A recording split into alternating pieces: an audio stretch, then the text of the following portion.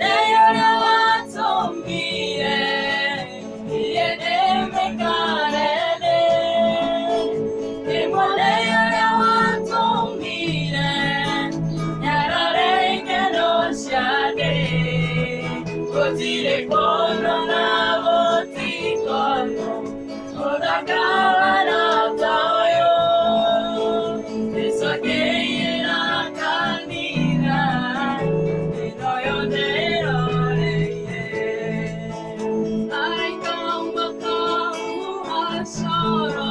y